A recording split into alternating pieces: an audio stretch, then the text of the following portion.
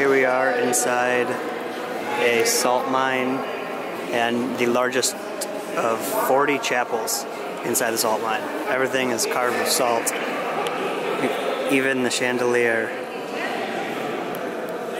Those are salt crystals. Here, there's one close here.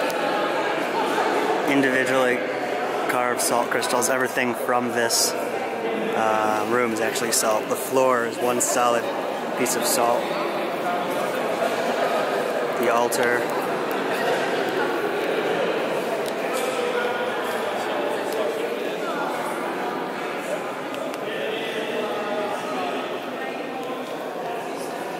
Here, so here's the main altar.